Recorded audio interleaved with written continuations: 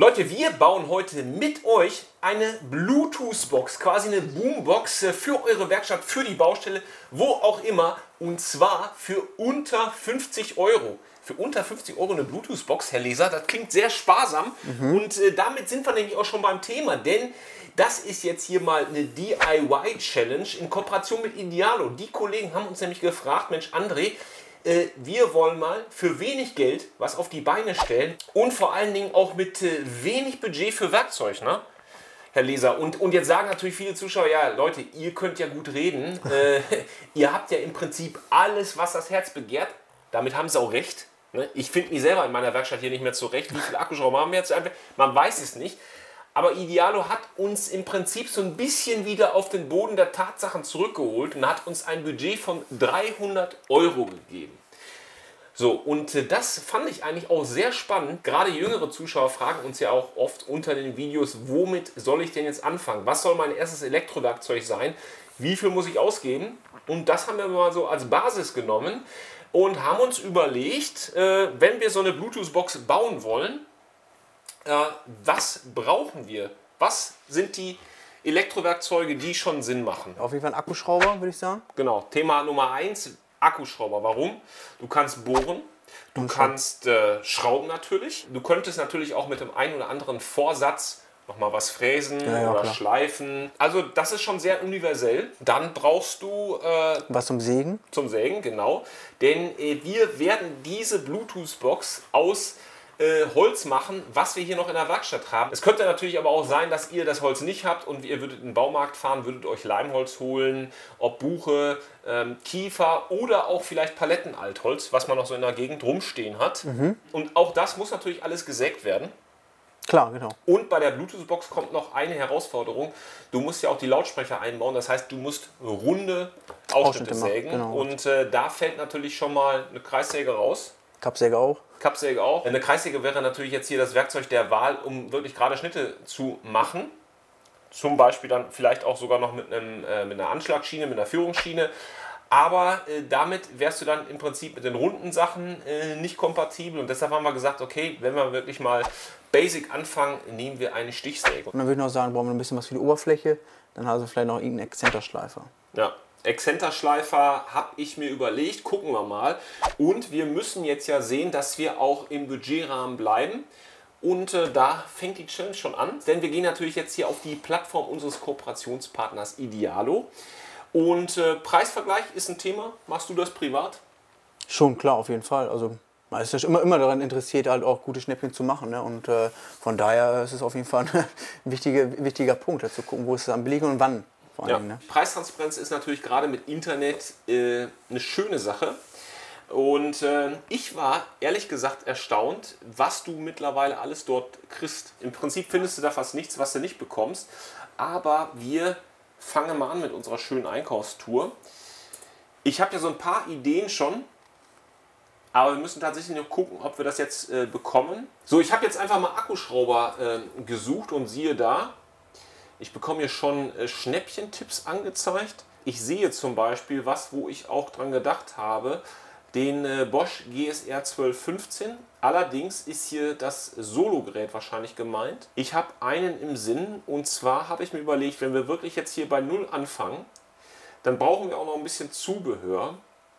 Und damit wir das Zubehör nicht extra kaufen müssen, gehe ich hier auf die mobile Werkstatt von Metabo. Und jetzt ist hier die 18 Volt Variante am Start ab 127,49. Das ist schon ein richtig heftiger Preis, muss man sagen. Denn wenn du vergleichst mal, hier bei GoTools 140 inklusive Versand, bei Amazon 144 nur als Beispiel, das ist schon Schnapper. Ja. Aber ich will noch ein bisschen im Preis sparen, denn was wir hinten raus gespart haben, haben wir vielleicht irgendwo noch dann übrig.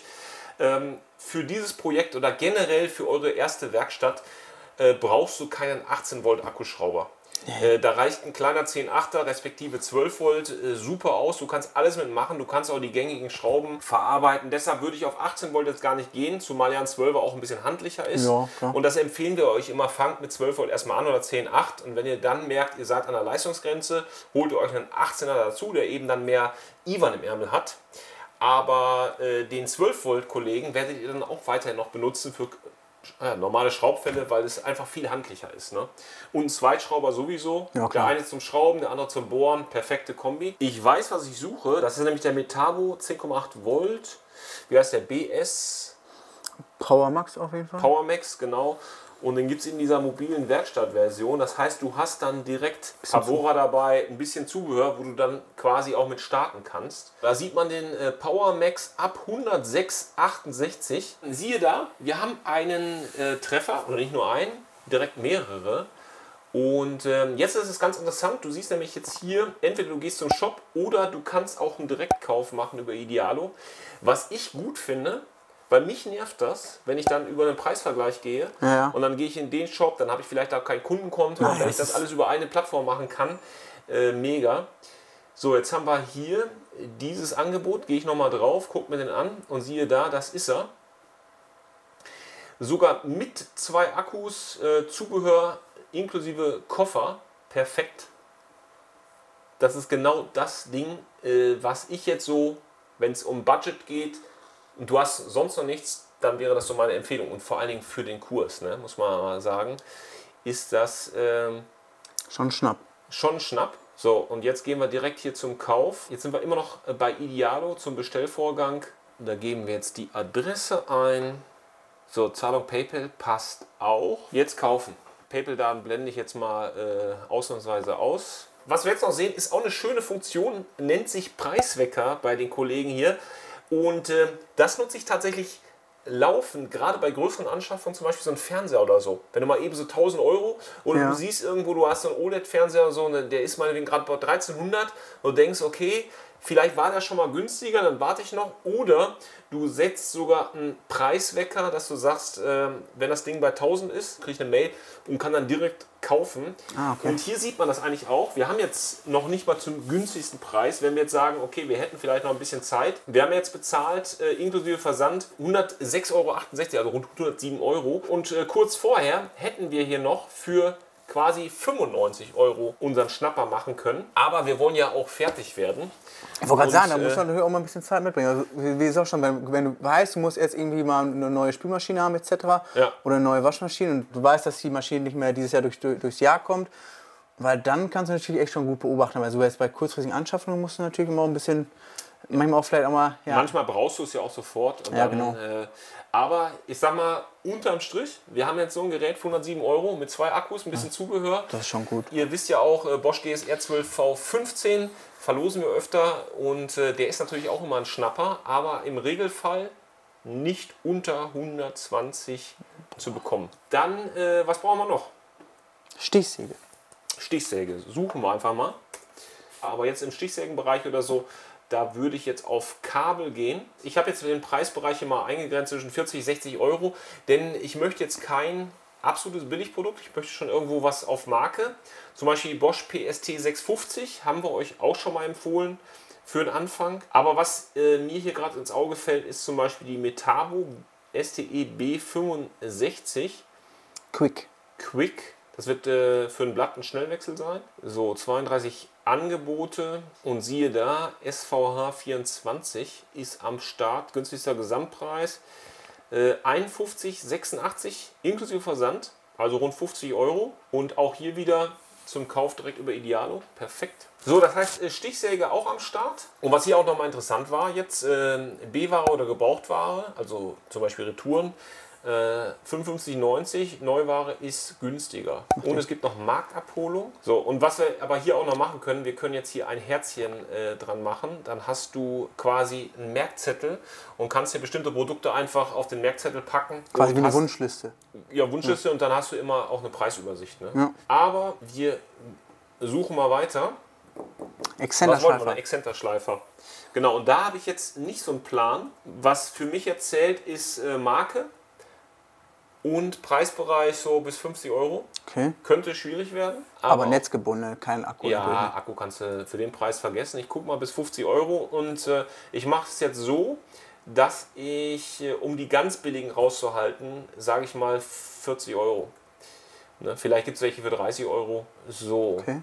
eine hätte ich. Bei Ruby. Einhell sogar ähm, Akkusystem, aber da wir jetzt ja nicht im Einhell Akkusystem sind, Macht's ja keinen äh, Sinn. macht es keinen Sinn. Aber vielleicht auch für euch nochmal eine Option, dass ihr sagt, okay, wenn ihr wirklich im Budgetbereich bleibt, vielleicht auch beim Akkuschrauber mal mit einem anzufangen, dann könntest du auch alles so auf Akku wahrscheinlich äh, bekommen für einen ähnlichen Kurs. So, was ich jetzt sehe, sind hier äh, Bosch PEX 220A oder ein Ryobi für 49. Der Bosch ist nochmal ein bisschen günstiger. Würdest du Ryobi oder Bosch Ja, ich will jetzt rein nach dem Preis gehen, dann will ich auf jeden Fall den Bosch nehmen. so, gucken wir den mal an. Ach, guck mal, Kollegen von SVH sind wieder am Start. 49,69 inklusive Versand, das passt.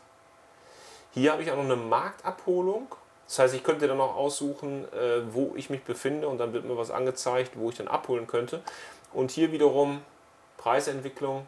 Also ich, sogar ich habe jetzt moderat, ich ja, ja. Ich habe jetzt keinen Ausreißer. So, auch das zum Kauf direkt. So, und äh, Werkzeug haben wir also. Aber was brauchen wir noch? Wir brauchen natürlich die Lautsprecher. So, und Lautsprecher würde ich jetzt mal äh, sehr pragmatisch äh, an Kfz-Lautsprecher gehen. Zwei Wege, Koaxialsystem. Das heißt, du hast in der Mitte noch einen Hochtöner äh, für den etwas besseren Hochtonbereich. Dann hast du äh, den Vorteil, dass du bei den Lautsprechern meistens auch ein Abdeckgitter vorne hast. Das heißt, dann sind wir nach vorne auch geschützt. Und wir haben in der Regel auch Schablonen dabei für die Ausschnitte. Was cool ist, wenn wir dann äh, anschließend mit der Stichsäge sägen wollen. So, und die Lautsprecher müssen ja auch irgendwie betrieben werden und dafür brauchen wir einen Verstärker. Und äh, die Leute in äh, Fernost sind da sehr, sehr findig und bauen kleine winzige Verstärkerplatinen. Das ist im Prinzip ein digitaler Verstärker, deshalb sind die so unheimlich klein geworden mittlerweile. Und die haben sich gedacht, wir packen auch noch gleichzeitig ein Bluetooth-Empfängermodul drauf. Das heißt, alles, was das Herz begehrt. Und äh, ich weiß, dass die wirklich günstig sind. So 15, 10 bis 15 Euro bekommst du so ein Ding. Und das hat noch einen Vorteil, denn die Spannungsversorgung ist relativ äh, variabel. Da kannst du im Prinzip meistens so von 8 bis 25 Volt dran gehen. Das heißt, das eröffnet uns wieder die Möglichkeit, dass wir mit einem Werkzeugakku optional die Box auch noch betreiben können. Werkzeugakku so 18 bis 20 Volt so in dem Bereich sind wir also safe dabei. Und äh, das mit dem Akku müsst ihr natürlich entscheiden, ob ihr dann vielleicht mal das äh, Ganze ausbaut, euren Werkzeugfundus, oder ob ihr vielleicht auch sagt, okay, ich habe ja schon Werkzeug, aber trotzdem will ich diese Bluetooth-Box nachbauen. So, und was ihr dann allerdings noch braucht, ist ein Adapter, wo ihr diesen Werkzeugakku entsprechend adaptieren könnt, damit ihr einfach Plus und Minus davon abgreifen könnt. Und da bin ich hingegangen auf Thingiverse und habe mit meinem 3D-Drucker so eine Halterung gedruckt für Makita-Akkus. Makita-Akkus haben wir ja und dann gibt es auch noch Adapter dafür, wo du einfach diese beiden ähm, Kontakte hast, wo der Akku dann entsprechend abgegriffen wird. Aber basic-mäßig bleiben wir halt ganz normal erstmal mit Netzteil, oder? Genau, basic-mäßig besorgen wir uns jetzt hier noch bei Idealo ein Netzteil. Klassischerweise so irgendwas um 100 Watt. Auch bei dem Bluetooth-Verstärkermodul habt ihr im Prinzip noch Luft nach oben, je nach Budget. Ihr könntet euch auch ein größeres Modul äh, holen mit mehr Ausgangsleistung und zum Beispiel auch einem Subwoofer-Kanal und könntet dann die Box vielleicht sogar größer machen, hinten noch einen Subwoofer ran, für richtig jalla jalla. Aber wir bleiben ein bisschen basic. Und äh, eins fehlt noch, nämlich wir haben noch keine Schraubzwingen. Und Schraubzwingen wirst du Achso, ein brauchen. bisschen, ein bisschen Zubehör meinst du noch? Genau, ein ja, bisschen okay. Zubehör, ein, ein Winkel äh, zum Anzeichnen, Oh ja. äh, macht sich ganz äh, schlank. Einen Stift haben wir ja. Stift haben wir, Zollstock genau. haben wir ja jetzt auch. Zollstock, genau, Team Zollstock. Sehr schön. Ich glaube, den gibt es übrigens noch nicht bei Idealo. Aber wir arbeiten dran. Äh, Wenn ihr keine PSA habt, also eine Schutzbrille, ein bisschen Gehörschutz oder so, dann könnt ihr euch auch noch mal eindecken. Äh, Da gehen wir jetzt mal davon aus, dass das aber viele eine Schutzbrille oder so im Haushalt haben. Bei dieser Verstärkerplatine werden wir löten müssen. Das heißt, ich bin nochmal hingegangen, einfach auch aus Neugierde, um zu gucken, für wie viel Geld kriege ich eine Lötstation. Und siehe da, ich habe äh, über Idealo einen Händler gefunden, der eine kleine Basic-Lötstation für äh, unter 10 Euro hatte. Die habe ich auch noch bestellt, sodass das jetzt hier wirklich die absolute Schnäppchen-Challenge ist. Und ähm, für die Verleimung der Hölzer, da müssten wir dann noch auf Holzleim zurückgreifen. Den haben wir aber auch, ihr eventuell auch schon. Ansonsten kannst du natürlich auch notfalls noch vielleicht mit äh, Heißkleber was machen. Es geht dann natürlich daher, dass wir das Gehäuse auch dicht bekommen und da könnte zum Beispiel auch noch helfen, dass wir ein bisschen Dichtband haben oder Sika Flex. Das äh, zeigen wir euch dann gleich in der Anwendung. Haben wir, wenn ihr es noch nicht habt, könnt ihr euch dann besorgen, müsst ihr aber nicht. Wir warten jetzt, bis hier das Werkzeug eintrudelt und dann machen wir weiter. Drei Tage später.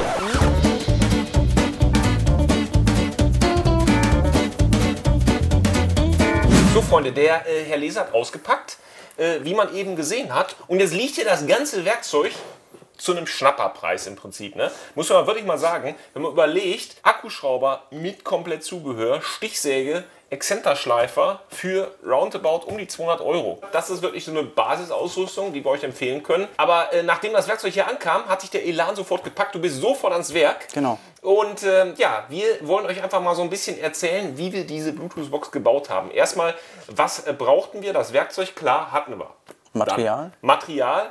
Wir haben uns ein Bluetooth-Verstärkermodul gekauft für nicht mal 20 Euro mit ähm, so, Werksangabe 2x50 Watt. Und das Schöne ist eben, dieses Verstärkermodul hat auch einen Bluetooth-Empfänger. Das heißt, ihr könnt direkt loslegen. Ihr könntet aber auch ganz normal über Line-In mit einem Klinkenstecker irgendeine beliebige Quelle anschließen an die Box. Und das Schöne an diesen Bluetooth-Verstärkermodulen ist, dass du von der Spannung variabel bist. Also von 5 bis, glaube ich, 25 Volt gehen die. Das heißt, wir sind auch dann äh, prepared quasi hier für so einen Werkzeugakku. Und da haben wir äh, gesagt, da legen wir noch einen drauf, damit man nochmal die Option hat, das äh, Gerät mit einem Werkzeugakku zu betreiben. Die Boombox. Die Boombox. So, holzmäßig hatten wir uns überlegt, was nehmen wir. Ihr könnt natürlich alles Mögliche an Holz nehmen, was euch vor die Stichsäge äh, kommt. Wir hatten erst an Palettenholz gedacht, aber dann müsstest du äh, die Streifen noch miteinander verleimen. Ja, und du musst ja auch noch versuchen, das alles noch ein bisschen irgendwie abzurichten, zu hobeln. Also eigentlich schon wieder ein bisschen zu viel Aufwand und deswegen haben wir uns einfach für entschieden. Also das, was man irgendwie auch handelsüblich äh, bekommt, ähm, ist jetzt auch nicht so wahnsinnig teuer, einfach einfach so, Leimholz. Und da haben wir uns äh, dann auch für ein Hartholz entschieden, also Buche. Und ähm, ja, genau, das war unser, unser. Und ähm, damit sind wir halt gestartet, was ich eigentlich auch im Nachhinein als äh, sehr, sehr schlau empfunden habe, weil Palettenholzer wäre, glaube ich, das Ergebnis, was wir dann jetzt so auch äh, erzählt haben, was wir dann auch gleich zeigen, äh, niemals rangekommen. Ne? Eventuell packt dich ja der Ehrgeiz, dass du sagst, okay, Palette Klar. liegt irgendwo noch im Innenhof, äh, dann schleifst du die runter, machst sie sauber, kannst natürlich auch abbürsten, kannst du noch Flammen Ja, klar. ähm, dann zusammenleimen.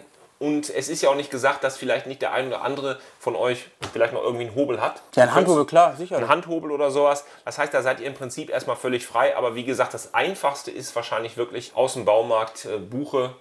Ja, also Könntest du auch Kiefer nehmen. Ja, Könntest klar. du dann auch wiederum Flammen. Ein Klar. weicheres Holz wäre dann noch etwas preisgünstiger. Bei uns kam dazu, dass wir dieses Stück äh, Holz noch hier im Lager hatten. Genau. Das lag hier einfach rum. Da wollten wir eigentlich mal einen Regalboden rausbauen, aber jetzt ist eben eine Bluetooth-Box raus geworden. Dann äh, der Zuschnitt. Da hatten wir uns ja am Anfang so auch überlegt, naja, mit der Stichsäge geht das alles so klar. Denn normalerweise, wenn du jetzt gerade Schnitte machen würdest, wärst du eher bei der Handkreissäge Oder Tischkreissäge gelernt, oder klar. jeden- Tischkreissäge, genau. Ähm, könnte natürlich auch dann für euch eine Ausbaustufe sein, wenn ihr wirklich anfangt. Aber wir wollten ja wirklich back to basic. Du Ja. warst am Anfang sehr skeptisch, ne? Ja, ich, ich, ich hatte äh, auf jeden Fall und ich hatte natürlich auch so eine, ja, sch- schon eine Art Plan. Ich habe mir auch natürlich auch einen Plan gemacht, der liegt hier sogar noch irgendwo hier. Mal so, oder beziehungsweise haben André und ich haben uns einen Plan gemacht, hier so eine kleine Handskizze, ein bisschen was aufgeschrieben, dies, das, damit man so einen, so einen kleinen Fahrplan hat und nicht komplett da irgendwie ohne Plan loslegt. Und da habe ich mir auch schon so, weil ich halt auch wusste, okay, mit Stichsäge, dann halt auch Zuschnitt und dann diejenigen, die, ähm, die schon ein bisschen so auch ähm, im Handwerk ein bisschen mehr zu tun haben, wissen, äh, wo auch die Problematik bei einer Stichsäge ist. Es ist halt einfach so, dass man nicht immer einen schönen senkrechten Schnitt hat, sondern es halt immer so Keil und eigentlich schneidest du halt immer eine, eine leichte Gärung so. Und das ist natürlich ähm, für den Finish halt äh, nicht so ganz so geil. Und damit habe ich dann halt auch schon gesagt, boah, das wird halt nichts und etc. Und ähm, ja, du hast halt keine Führung, wie machst du also so eine Führung? Und das waren halt so, so Gedanken im Vorfeld, die ich mir gemacht habe. Und dann haben wir da auch, eigentlich auch eine schlaue Lösung so gefunden.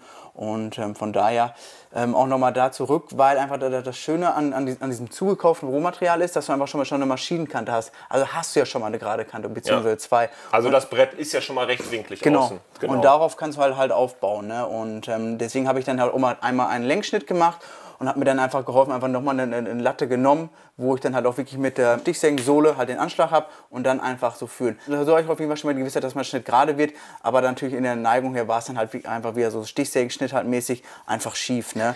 Wir hatten ja auch selber den Ehrgeiz, dass wir wirklich nicht in unsere Schatulle hier greifen. Ja. Und äh, das sieht man jetzt auch am Sägeblatt. Das ist nämlich gut durchgebläut. Auf jeden Ähm, Fall. Klar, Hartholz. Und das war ja schon dann auch ein bisschen Strecke. Ja, das war, glaube ich, im Nachhinein eventuell auch noch ein Fehler, dass wir halt einfach Buche genommen haben oder hatten halt Buche. Eventuell wäre es vielleicht beim, bei, bei Weichholz vielleicht noch ein bisschen anders gelaufen. Ne? Viel, viel besser. Ne? Man sagt ja auch gerade am Anfang fängst du vielleicht so ein bisschen eher mit äh, Weichholz an, Ja. als direkt Hartholz zu verarbeiten, aber so what? Es hat ähm, erstaunlich gut geklappt. Ne? Auf jeden Fall. Es war halt wunderbar und dann halt, genau, das waren einmal, einmal die Längsschnitte, die ich halt so gemacht habe. Und dann musst du natürlich halt nochmal deinen dein, dein, dein Längsstreifen natürlich nochmal ablenken, weil du, wie gesagt, wie gesagt dein Bauteil halt brauchst.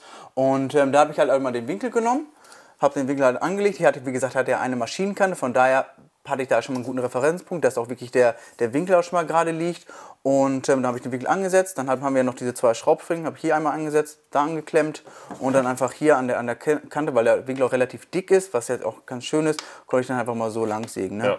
So, so kann man sich dann halt auch behelfen. Ne? Genau, und das ist ja, du, oder du hast noch irgendwie so eine Alulatte oder Ja, ja, sowas. genau, irgendwas, Äh, ne? so habe ich das auch früher gemacht. Ne? Oder tatsächlich irgendwo an einem Brett lang. Genau. Wir haben ja auch wirklich nochmal zwei äh, Schraubzwingen bestellt. Ähm, es ist wirklich lustig, weil wir haben ja wirklich alles hier. Ja, ja. Aber ich habe wirklich gesagt, nee, ich bestelle jetzt was und dann machen wir das damit. Und klar, du brauchst erstmal zwei Stück, auch wenn du noch irgendwie was nachher fixieren willst, nachher bei dem Gehäuse und gerade jetzt hier auch mal eben so, eine, so einen Anschlag fixieren. Also klar, die Maschinen kann man jetzt nicht ersetzen, aber so das wichtigste Hilfsmittel waren tatsächlich ähm, wirklich die Schraubzwingen. Bei sowas kann man sich natürlich immer noch behelfen. Du sagst irgendwie mit einer Latte irgendwas, oder ein Restholz etc. Das geht alles, aber wirklich diese Schraubzwingen, ähm, das hat sich wirklich beim, beim, beim Zuschnitt wirklich als äh, sehr, sehr hilfreich bezahlt gemacht und natürlich danach auch beim Zusammenbau auch, ne? weil es ist halt einfach so, ne? du hast mit, mit, der, mit der Stichsäge einfach jetzt nicht, nicht diese Schnitt, äh, Schnittqualität, wie du mit einer Tischkreissäge mit einer Handkreissäge, mit einer Tauchkreissäge oder mit einer Kappsäge hast du einfach nicht. Ne? Und ähm, da wären dann nachher die, die Zwingen und natürlich auch Schleifpapier dein bester Freund. Ne? EA und ich machen wieder diesen hier. Weil du kannst ja da dadurch halt wirklich sehr, sehr viel Druck aufüben und auch ein bisschen fuschen und dann ist das Resultat auch gut. Und ähm, wie gesagt, wir haben es dir noch nicht gezeigt, aber André hat es hat das erste Mal gesagt, gesagt, okay, das ist gut geworden so. Ich bin halt auch positiv überrascht gewesen von dem Ergebnis. Hätte ich halt auch nicht so gedacht. Ne? aber ähm, du warst richtig angesäuert. ich hatte halt keinen Bock auf Stichsäge. So, Ja, ne? ja. Ich will das, aber das ist vielleicht dann auch einfach auch wieder so berufsbedingt, weil man hat man es einfach anders gelernt. Ne? Und ähm, Klar, aber hat man wie einfach gesagt, keinen Bock ne, drauf. wir versetzen uns auf die einsame Insel. Ja, ja, genau. Und dann äh, bleibt einfach nur Du das. bist, äh, ne? wir sind komplett alleine auf irgendeiner einsamen Insel, Mhm. aber wir im Internet können bei Idealo bestellen. Genau. Läuft.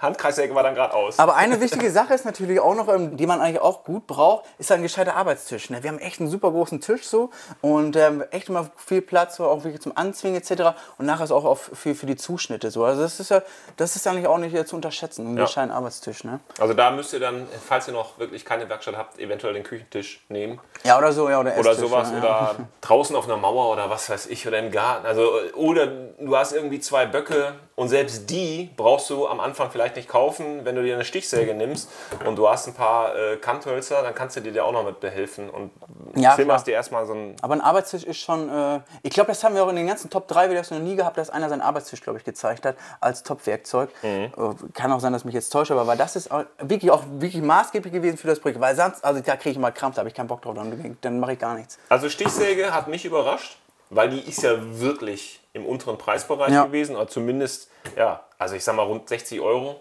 Hat mich überrascht. Dann äh, der Akkuschrauber, wo wir ja gesehen haben, dass da auch wirklich eine sehr starke Volatilität im Preis ähm, ist. Also du kriegst den auch für 130, 140 teilweise. Das finde ich wirklich bei Idealo auch nochmal gut, dass du da wirklich diese Preisentwicklung sehen kannst und dann wirklich siehst, okay, unter 90 Euro zuschlagen. Den finde ich wirklich, wenn man das wirklich mal jetzt als Gesamtpaket betrachtet, wirklich gut. Ja, Ne? auf jeden Fall. Also klar, das, die Beleuchtung ist gut. Klar, es ist kein bürstenloser Akkuschrauber, aber das macht überhaupt nicht den Eindruck, als wenn es jetzt irgendwie Sparmodell wäre. Null. nee, das jetzt nicht. Gerade noch, wenn wir jetzt das vergleichen mit dem DF330, Null. ne? Von, äh, Von von Makita? Genau, das ist, passt halt schon gut. Klar, ich finde, das, das Bohrfutter, das, das wieder irgendwie eingedreht und dann kannst du natürlich, hast du noch so ein Adapter-Zubehör, wo du einfach nur Sechskant hast, so. Das ich ein bisschen gewöhnungsbedürftig, weil, aber das ist, glaube ich, einfach, weil, weil die Maschine einfach schon ein bisschen älter ist. Jetzt hat der Metabo nur dieses äh, Flexi-Click, auch bei den 12-Volt-Geräten. Und ähm, ja, also für 150 Euro würde ich nicht kaufen, bin ich ganz ehrlich, aber für 100 in, in dem Umfang ähm, macht man da erstmal nichts dran falsch. Ne? Ja, das hat uns natürlich wirklich auch in dem Budgetrahmen bleiben lassen. Denn äh, wir hatten Bohrer. Man sieht das nachher auch beim Vorbohren. Äh, da musste ich dann statt dem Holzbohrer den normalen HSS-Bohrer nehmen, weil bei den Holzbohrern geht es erst ab 4 mm los. Ja, ja. Aber ansonsten, ne, Ja, was, was soll ich sagen? Also es ist schön, schön, dass es da ist, so für, für das Projekt auf jeden Fall gut. Wie, wie gesagt, wir, wir, haben, wir haben die Bohrer stark gebraucht, also die Holzbohrer, André hat nochmal den HSS-Bohrer gebraucht. Klar brauchen wir auch nochmal ein Bit, eine Bitspitze. Das ist halt schon mal alles ganz gut, dass es halt da war. Das war halt für, fürs Projekt halt auch wichtig. Ne? Klar, wenn wir jetzt uns, uns entscheiden müssten, welchen, welchen Bohrersatz wir nehmen oder welchen Bitsatz, dann würden de definitiv die Fragen anders aussehen als das, was jetzt vor Aber uns liegt. wie gesagt, wir haben unseren Budgetrahmen, Genau, ne? genau, genau. Und für das, für das Projekt war es ja auch alles in Ordnung, um Gottes Willen. Ne? Das passte. Wie die Maschine war halt auch da. Die Akkus waren also schon ein bisschen vorgeladen. Ich habe jetzt einmal äh, während des Projektes dann einmal nochmal äh, einmal Akku wechseln müssen. So. Aber von daher, und, Kraftverhältnisse auch, auch mit dem 10er Bohrer habe ich einmal gebohrt, um halt wirklich, äh, wir, wir haben ja diese Ausschnitte gemacht mit der Stichsäge und dann musste ich natürlich auch ähm, einmal vorbohren. Das habe ich dann so an vier Punkten habe ich ein bisschen gebohrt. So. Und da hat die Maschine jetzt auch nicht rumgezogen. Ne? Und der Bohrer hat jetzt auch äh, sauber durchgezogen. So, ne? Von daher ist alles gut. Dann Thema Exzenterschleife, offensichtlich auch schon ein bisschen äh, Staub äh, aufgewirbelt, der Bursche. Ja, klar. Auch hier wiederum haben wir wirklich aufs Budget geachtet und haben gar keine extra Schleifscheiben gekauft. Da war im Lieferumfang äh, eine 80er genau. dabei, eine. Die hat uns auch wirklich über das Projekt gebracht, genauso im Prinzip hier wie der Stichsägenblatt. Ich meine, da waren zwei dabei, ne? Bei Ja, das eine ist aber mit Metallblatt. Also das andere ist Metallblatt. Genau, wir haben uns dann aber entschlossen, dass wir es doch mit Holz machen, dann brauchen wir das Metallblatt gar nicht. Budgetgerät, ne? Einstiegsklasse, dein Eindruck?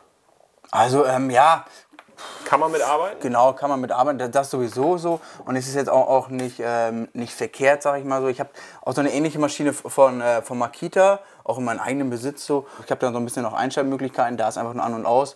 Und ähm, war jetzt für das, was wir jetzt geschliffen haben, ist ja auch wieder das Schöne an, dem- an dem, an dem ähm, Baumarktholz. Das ist ja schon so ein bisschen vorgeschliffen, vorbehandelt etc.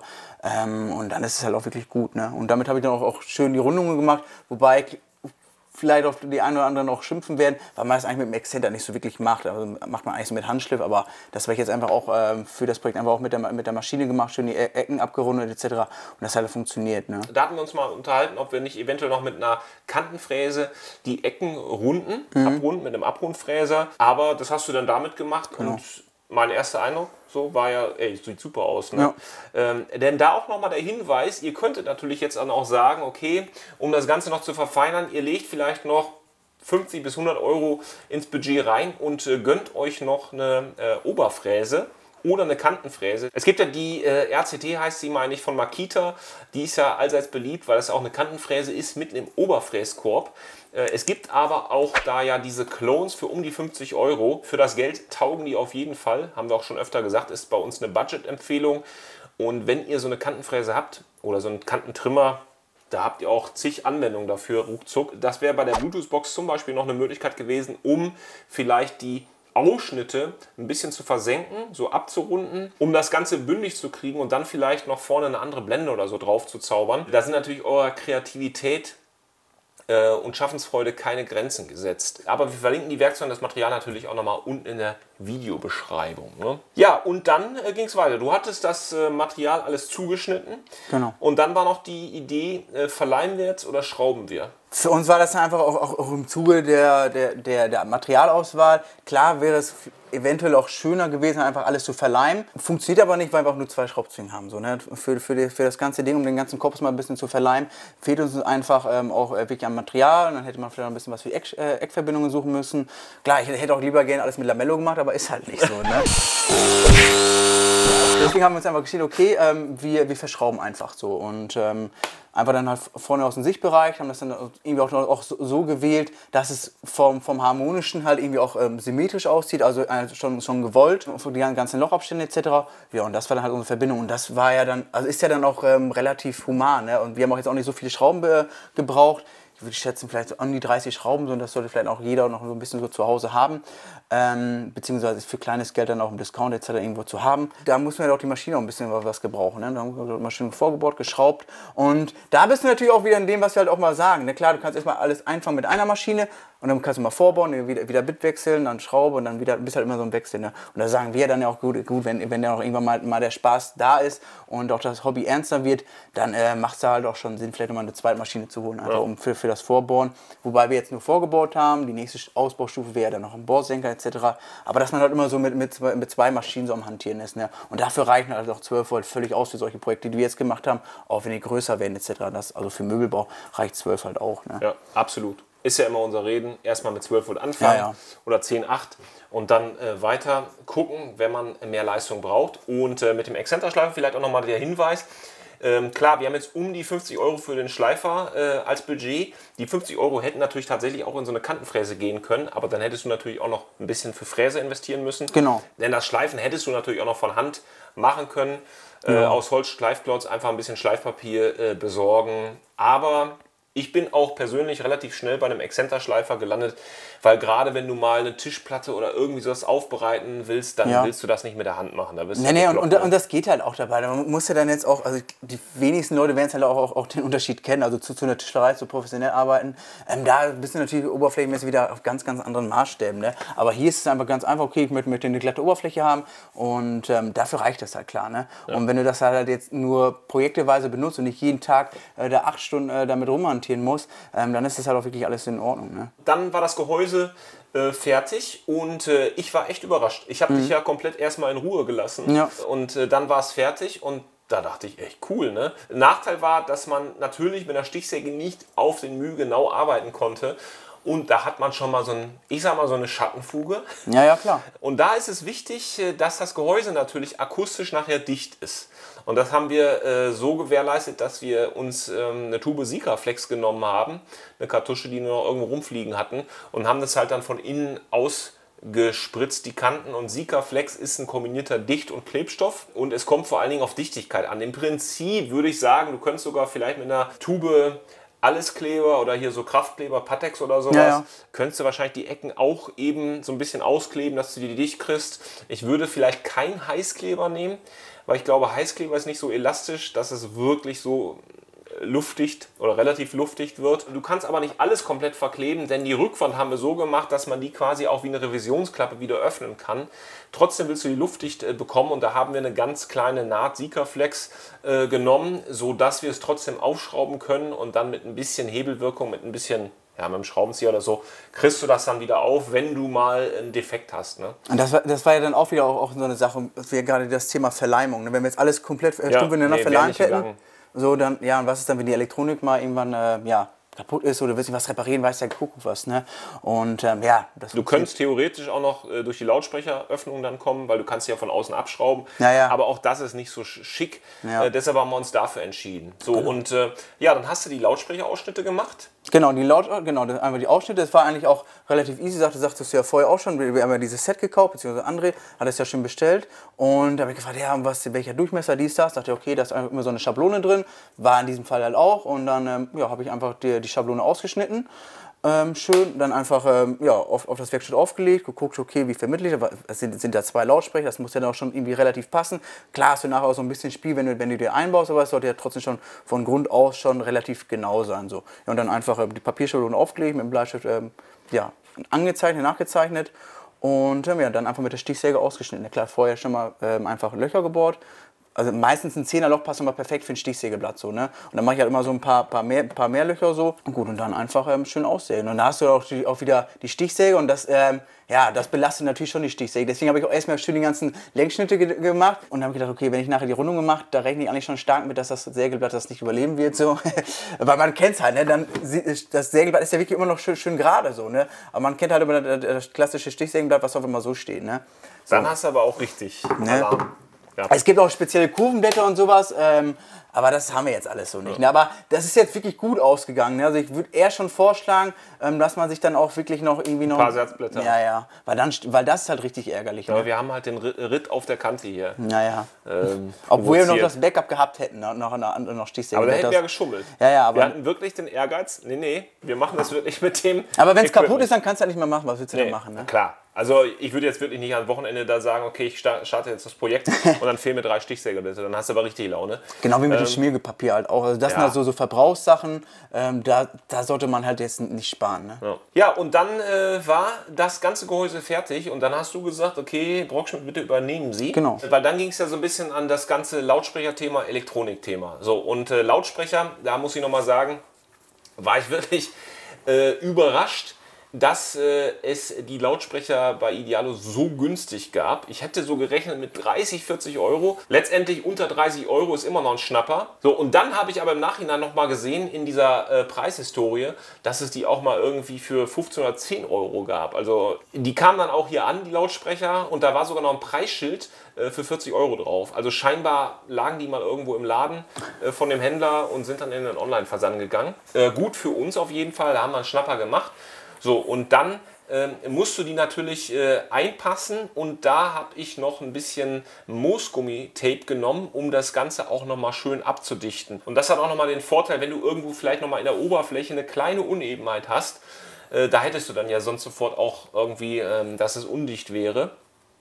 Und äh, da kannst du dir ganz gut behelfen. Ihr solltet möglichst nur dünnes nehmen, nicht dass das zu sehr aufbaut und auch einigermaßen bündig nachher aufliegt. Äh, dann hat man die Lautsprecher drin. Da ist auch nochmal wichtig, dass ihr die Lautsprechergitter ordentlich einpasst, denn die sind natürlich dafür gedacht, dass die wirklich auch quasi ähm, sich fixieren und einfach stecken bleiben. Mhm. Und wenn du die verkantest und dann drückst, dann äh, verbiegen die sich, da kriegt ihr die nicht rein, da musst du ein bisschen Gefühl haben. Und äh, schön war natürlich auch, dass äh, Lautsprecherkabel dabei war im Zubehör.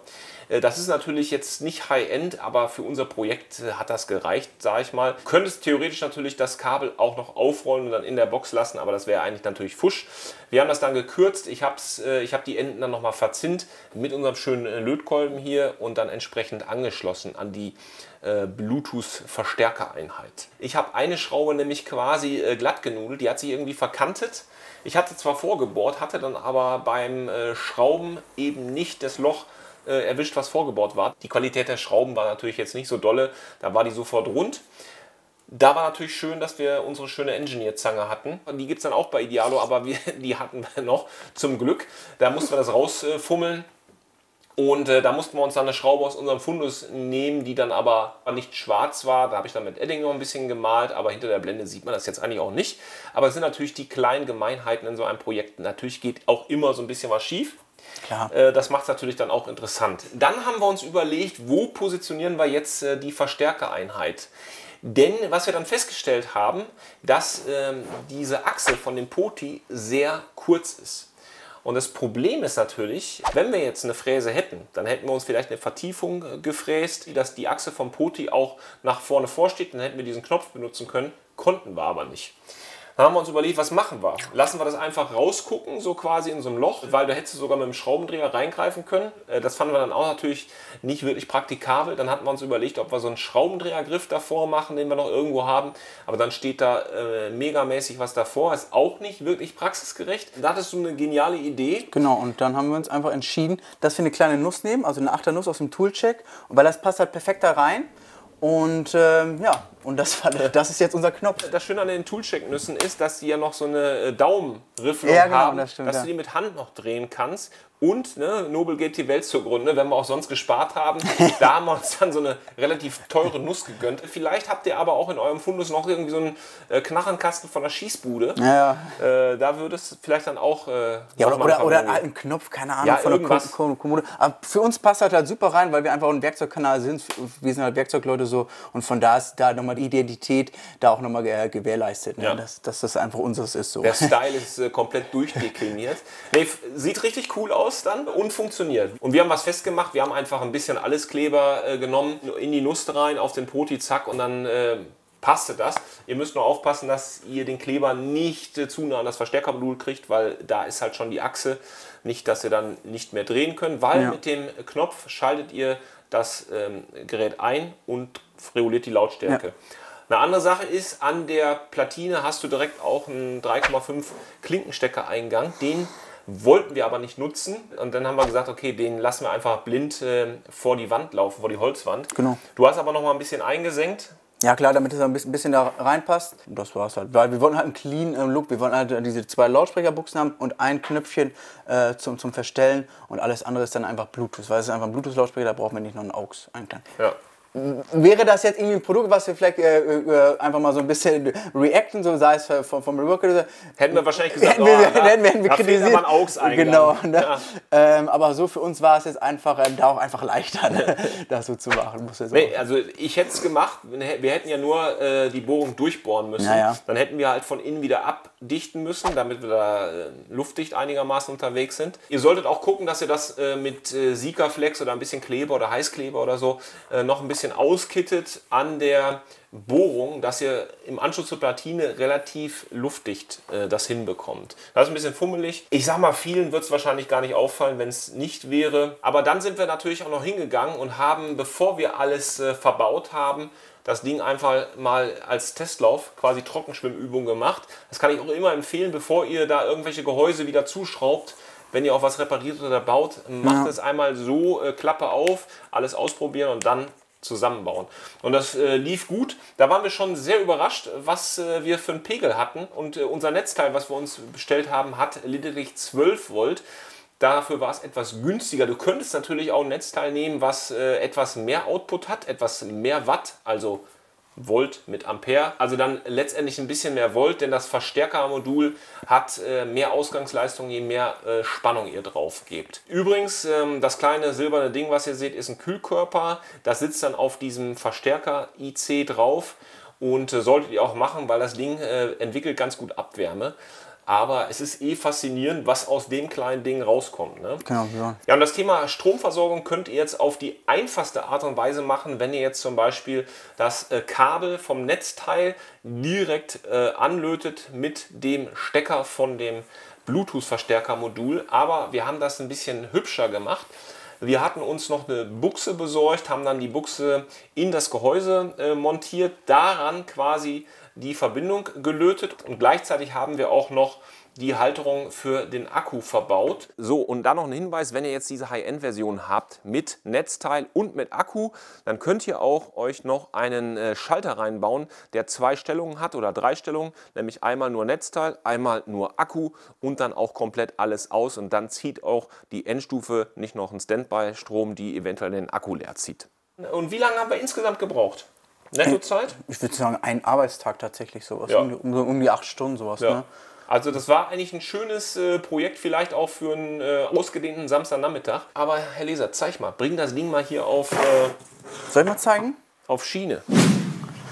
So, hier So, was wir jetzt noch gemacht haben, wir haben es geölt. Ja klar, das haben wir auch noch. gemacht. Äh, und sieht echt nice aus, ne? Also Ja. richtig edel. Ähm, richtig schön. Ja, Also ich finde das ist halt auch wirklich die, die, die Sache, wo ich dann auch, auch noch mal sage, was ich ja schon vorhin noch mal gesagt habe, mit dem Rohmaterial, was man sich aus dem Baumarkt einfach besorgt. Wenn man sich das hier oben anguckt, sieht das halt schon alles relativ dicht aus. Ne? Das liegt halt daran, dass das halt alles diese Maschinenkanten sind. Hier unten hingegen sind die ganzen äh, Sägeschnitte mit der Stichsäge. So, und wie habe ich das jetzt halt vertuscht? Weil hier oben ist halt Hauptansichtfläche. Das muss halt irgendwie alles clean aussehen, so relativ. Ne? Ist auch relativ gut gelungen, würde Also ich sagen. mega, ja. Und hier unten ist natürlich jetzt dahingehend habe ich jetzt mir noch einfach was einfallen lassen und klar noch so einen kleinen Sockel gebaut, sowas, ne? Weil wenn man es jetzt einfach abstellt, stell mal ab, so die Kiste, so, dann hat man jetzt hier unser so eine kleine Schattenfuge. Und jetzt kann man, jetzt erkennt man relativ schlecht, ja, ist der Schnitt jetzt gerade oder nicht gerade. Jetzt haben wir, das haben wir so ein bisschen das auch kaschiert Ein dadurch. bisschen Trickser. Ja, und, aber jetzt sieht es halt wirklich ordentlich aus. So, boah, das, das schwebt ja quasi. Und das ist halt ähm, nochmal noch dieser kleine Trick. Und das ist halt wirklich das Schöne, wenn man sich ja so ein bisschen noch Holz dazu holt, weil das ist hier oben jetzt einfach wirklich sch- schön sauber aussieht. Ne? Klar, man hat hier noch ein paar, paar Sachen, weil einfach auch diese, die ganzen kleinen Längsteile, also die hier, beide Schnitte, die wir jetzt auf Breite, Breite gesägt haben, muss halt mit dieser Stichsäge machen. Klar haben wir uns äh, beholfen mit dem Winkel, aber nichtsdestotrotz ist das dann hier auch ein bisschen verlaufen. Und das sieht man aber auch hier, dass da noch ein bisschen Spalt drin sind. So, ne? Ich hatte noch überlegt, ob man da vielleicht sogar noch ein bisschen beischleifen Ja, könnte oder kann- so. also wie gesagt, also Schleifpapier ist ein bester Freund so, ne? ähm, aber das war mir dann jetzt auch die Arbeit nicht wert, sag ich jetzt mal so. Und war mit dem äh, äh, Ergebnis dann jetzt auch soweit zufrieden. Ne? Und das Schöne ist natürlich auch hier, dass man da auch mal diese, diese, diese Lamellen hat.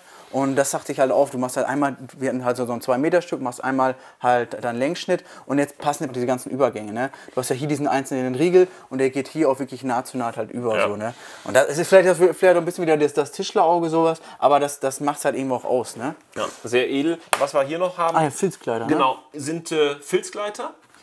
Und so ist das Ding auch wirklich, ja, also es ist echt, fasst sich schön an. Und das ist natürlich jetzt hier unser äh, kleiner Freund. Da. Klick, Klick, Klick. Das ist cool.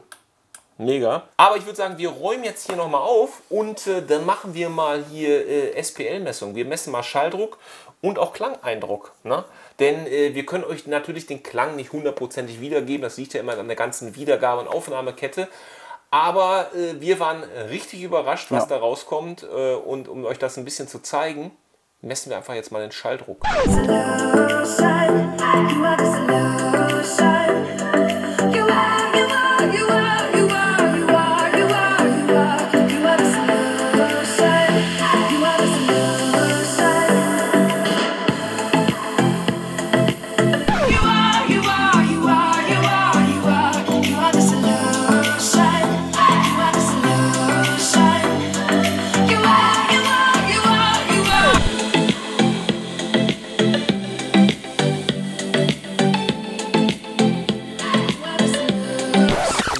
So habt ihr gehört und äh, den Schaltpegel habt ihr gesehen. Äh, Wobei Schaltpegel natürlich jetzt nicht gleichzusetzen ist mit der Qualität.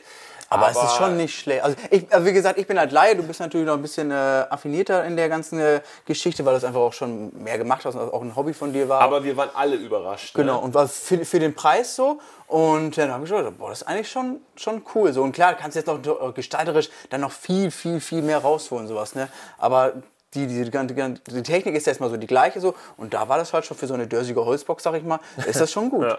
So. Ja. Und, von Und- der Größe her finde ich das auch noch human. Wir haben ja hier die- im Hintergrund diese große Marshall, der natürlich noch ordentlich mehr feuert, sowas. Aber das hier natürlich ist vielleicht auch schon in der Werkstatt oder wo, wo auch immer man das danach auch stehen hat oder zu Hause, ist auch schon ein cooler Blickfang. Wir hatten ja auch überlegt, machen wir jetzt hier äh, einen Griff dran oder sowas, ne? Oder so. vielleicht aus Holz oder so. Ja. Aber dann haben wir uns überlegt, du könntest ja zum Beispiel auch einen Schubladengriff, ne? Diese klassischen. Schubladengriffe aus, aus diesem gepressten Blech oder was das ist. Weißt du, was ich meine? ja, ich weiß, was hier einfach so ein, so ein Griff dran oder so. Ja, so ein Zeitgriff, ja. Ne, das, also da kannst du schon noch ein bisschen Upgrades machen. Alleine das hier mit der gedruckten Halterung natürlich äh, mega. Ne? Ja. Also das hat schon was. Ich finde den gedruckten Halter mit, dem, mit diesem ähm, Glitter PLA auch sehr, sehr nice. Und man muss wirklich sagen, wenn du das Material für diese Box nimmst, dann kommst du unter 50 Euro aus. Ne? Klar, du hast noch Variationen, vielleicht mit dem Holz oder so. Mhm. Ja, ja, vielleicht kriegst du auch die Lautsprecher für einen Zehner, äh, dann bist du noch weiter drunter. Aber schon echt Respekt, finde ich. Und es war ein richtig äh, cooles Projekt und danke auch nochmal für die Inspiration, äh, denn die Kollegen von Idealo haben mich ja erst darauf gebracht. Denn die haben uns ja gefragt, ob wir nicht was bauen wollen, aber ich habe gesagt, nee. Eigentlich sind wir kein Projektkanal. Ich fange jetzt nicht irgendwann das 150. Regal zu bauen oder irgendwas. Aber so eine Bluetooth-Box wollte ich schon immer mal haben und das ist genau mein Ding. Und jetzt haben wir gerade mal so eine Idee. Was wäre denn, wenn ihr jetzt mal anfangt, das Gerät nachzubauen? Mit eurer Variation, sei es Material, sei es Lautsprecher, vielleicht auch noch ein Gimmick, noch ein Kühlschrank drauf oder so. Noch eine Kühlbox mit drin. Von Makita ist eine, ist eine Genau. gute, habe ich gehört. Und dann schickt uns doch mal äh, eure Videos oder eure Fotos und äh, ein paar Infos dazu. Das könnt ihr uns dann als äh, YouTube-Video verschicken, ähnlich wie die Top 3 Zuschauerwerkzeuge. Vielleicht kommt da ja was zusammen. Dann machen wir mal im Livestream oder in der News mal so ein Follow-up. Aber Livestream wäre cool. Livestream wäre sehr cool, ja. Äh, Wie gesagt, ich bin mal gespannt, äh, ob ihr euch daran traut. Also, ich sag mal, du hast selten ein Projekt, wo du ähm, das machst von der Planung und dann diesen Moment, du machst es an und es funktioniert. Ja, das stimmt. Das ist halt, ja, genau. Das, das ist schon echt so ein, das ist schon ein spannender Moment in der Ja. Zeit. Du hoffst halt ja und dann, weil du sagtest ja auch, du hast es angemacht und er sagte, boah, eigentlich höre ich jetzt ein Rauschen. So, weil, weil die Lautsprecherqualität das irgendwie nicht so Ja, die, die zulässt. ne? Endstufenqualität. Ja, ja. Für 10, 15 Euro wird es erwarten, dass es irgendwie rauscht. Aber da, da rauschte gar nichts. Und dann ne? war, dann war auch schon so, dann also, so Nils, der Kameramann, der auch alles gefilmt sagte auch schon, das ist eigentlich untypisch, oder? Äh, Für, für, gute, für, für gute Lautsprecher ist das typisch, aber für billige eigentlich nicht so. Vielleicht ist was kaputt und dann hast du ja irgendwie alles connected, was ja auch super funktioniert hat. Was Ja, sofort, auch- ne? und, Angeschaltet, äh, dann- Bluetooth Connection war da, fertig. genau, und dann Ja. ging das relativ äh, zackig. Thema Variation, du könntest natürlich jetzt ja auch noch äh, die Lautsprecher, wie gesagt, einlassen. Ja. Könntest irgendwie noch mit so einem Gitter was arbeiten. Ja, oder was- oder- Akustikstoff oder. Oder halt hier irgendwie so, so eine, einen Schlitz machen, wo du dann perfekt dein Handy so reinstellen kannst. Vielleicht wird es auch noch da geladen über einen Akku, sowas halt. Du könntest diese Gitter hier weglassen und machst vielleicht so Stäbe, die du Ja. äh, biegst. Dann bohrst so, du hier rein. Und dann Ja. sieht es mehr so industrial aus. Ja. Oder du hast halt so Roheisen, so Stahl mit Holzlook. Ja, oder lachst die nochmal anders, eventuell, keine Ahnung, Genau. oder was. Ne? Wie gesagt, das ganze Material unten nochmal in der Beschreibung. Aber ihr sollt natürlich nicht zu kurz kommen, denn getreu dem Motto, ihr kommentiert, Bruckschmidt spendiert, hauen wir jetzt die drei Maschinen aus dem Projekt an euch raus und äh, unter dem Hashtag Idealo sollt ihr einfach mal schreiben, äh, wie euch das Projekt gefallen hat, ob wir vielleicht äh, doch nochmal sowas machen sollen in der Art, wo wir so ein bisschen Werkzeug mit Projekt kombinieren, weil wie gesagt, Projektkanal werden wir nicht machen und werden wir nicht werden und sein und was so eure Meinung ist oder ob ihr das nachgebaut habt oder ob ihr sowas schon mal realisiert habt. In diesem Sinne, macht's gut, bleibt uns treu und bis dann und ähm, was sagt man hier? Happy, Happy Boomboxing. Happy Boomboxing ist ein guter, ist guter, guter Begriff. Ja. Dann das Ganze äh, bündig. Ja, ja. Also Flashmount sagt man in Englisch. Was sagt man denn bündig? bündig? Ja, bündig. Also, Ja. ja. Das ist Maisstärke, das kann man essen, oder? Nee. Das kann man nicht echt essen, ne? Das ist doch Maisstärke.